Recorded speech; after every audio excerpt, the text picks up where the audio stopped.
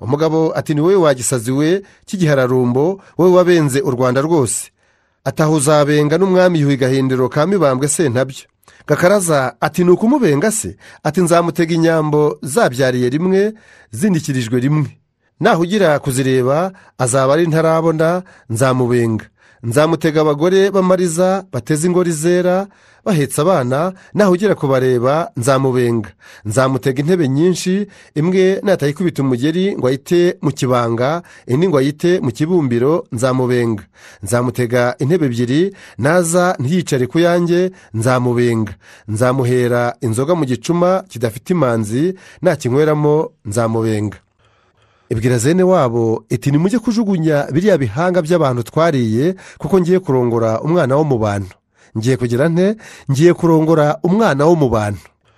Iyo impyisi yatahaga ku mugoroba yaricaraga igafata inanga yayo igacuranga ivuga iti nzarya gikuru nakiri umuna nzarya kabere gahundagaye nzarya n'akandi gahunze amagwe nzabukoca kandi nzabukocanga ikaze ku muyoboro jidesi uburyohe bw'imyandiko aho yumvira icyanga cy'amagambo.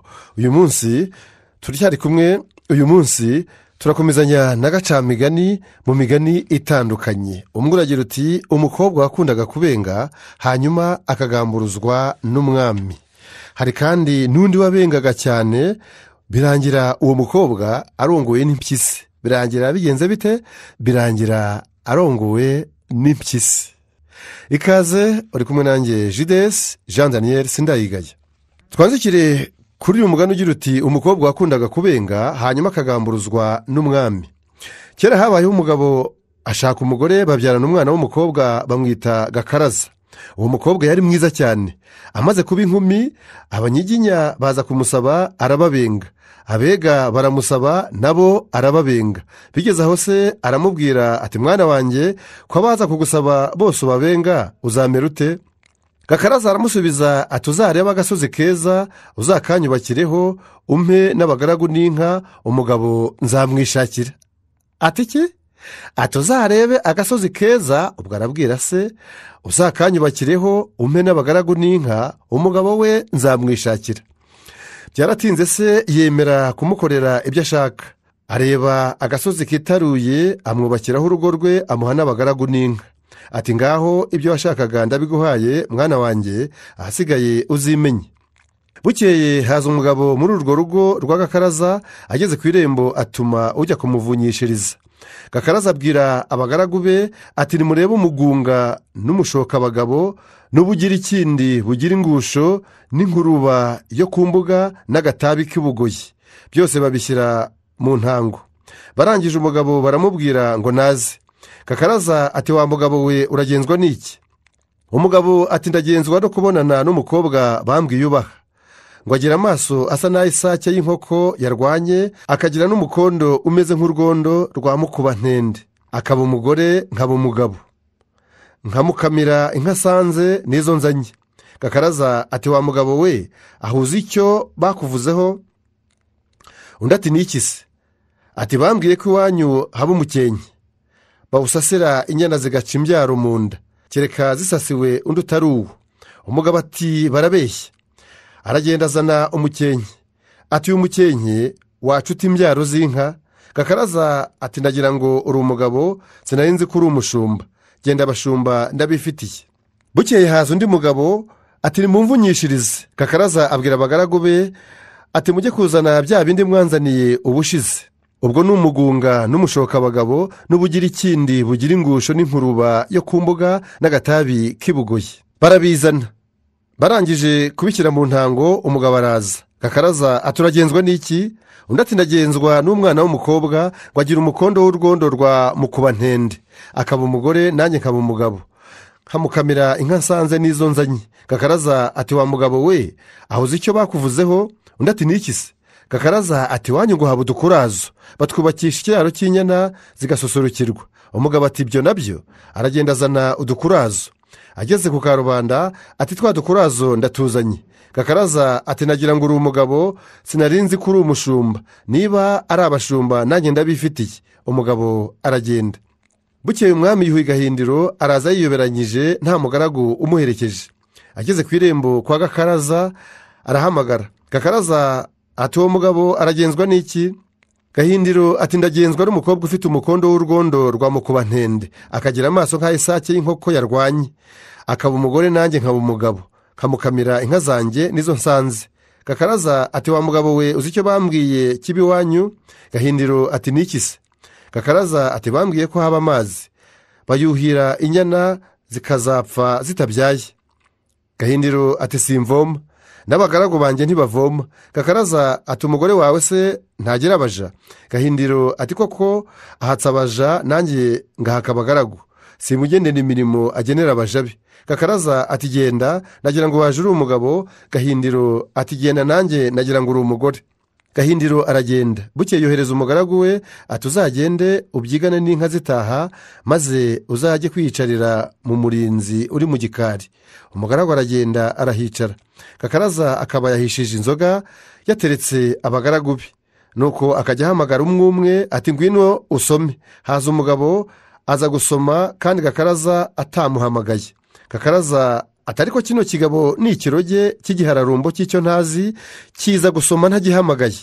Umugabo ati ni wowe wagisaziwe cy'igihararumbo wowe wabenze u rwanda rwose.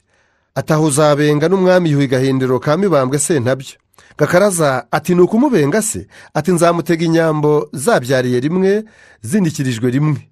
Naho ugira kuzireba azaba ari ntarabona nzamubenga.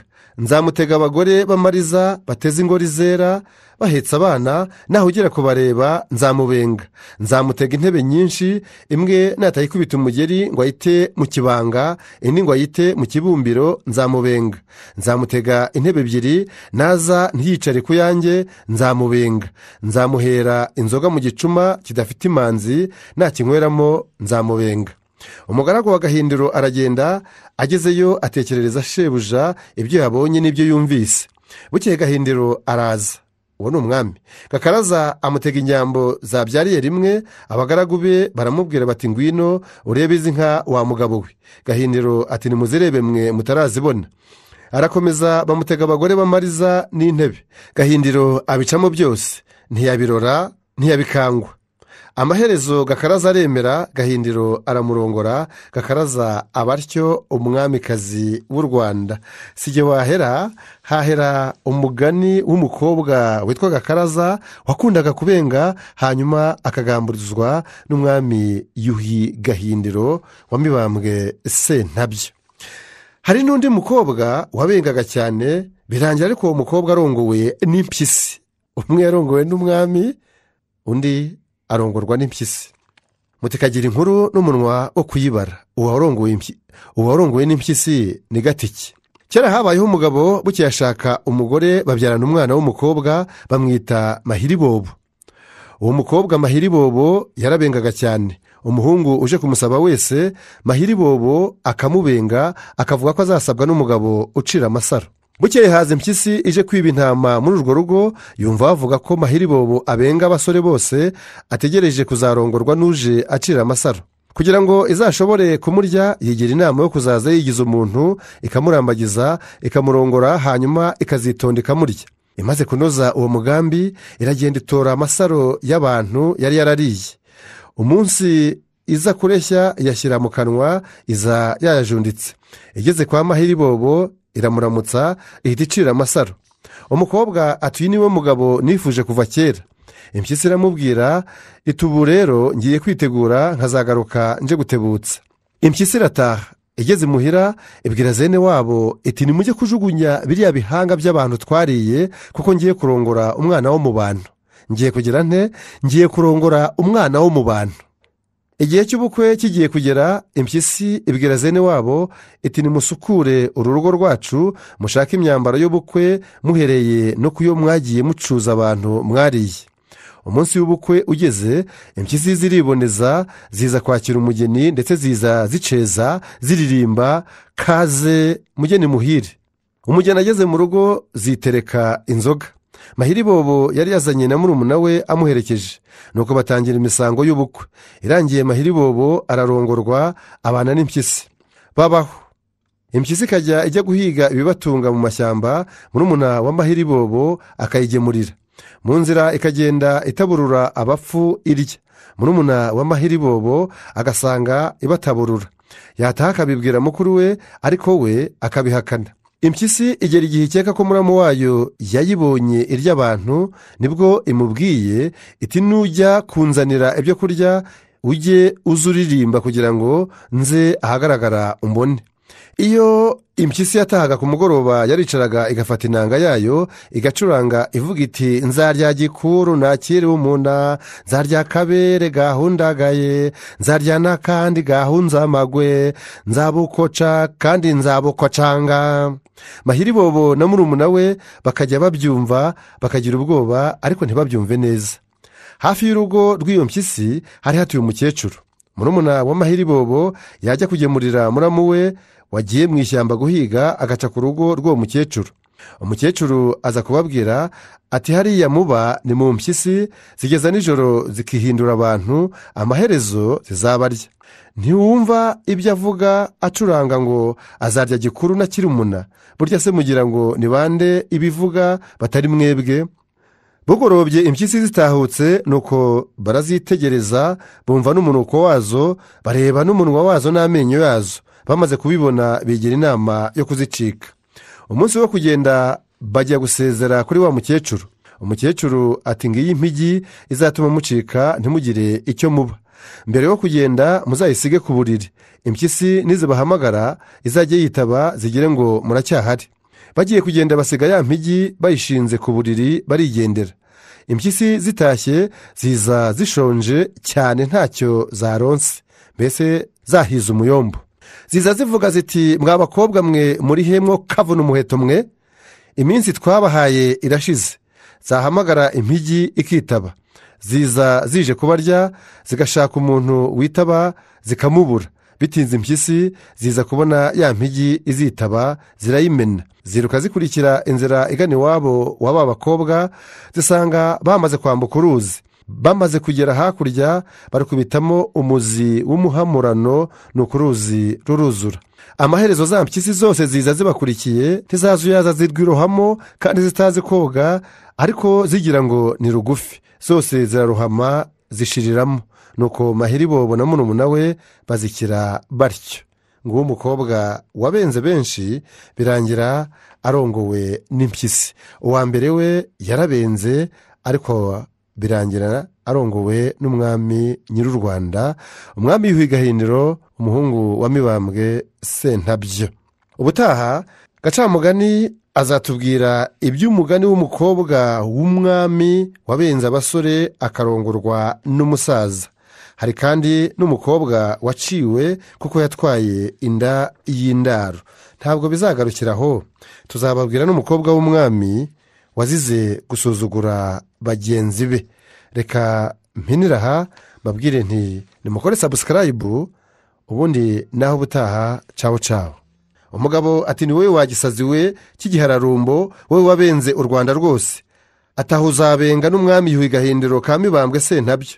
Gakaraza ati ni ukumubenga se? Ati nzamutega inyambo zabyariye rimwe zindikirijwe rimwe.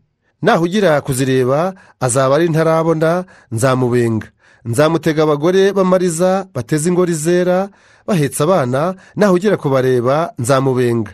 Nzamutega intebe nyinshi imwe natayikubita umugeri ngo ayite mu kibanga indi ngo ayite mu kibumbiro nzamubenga. Nzamutega intebe ebyiri naza ntiyicare ku yanjye nzamubenga. Nzamuhera inzoga mu gicuma kidafite imanzi nakinyweramo nzamubenga.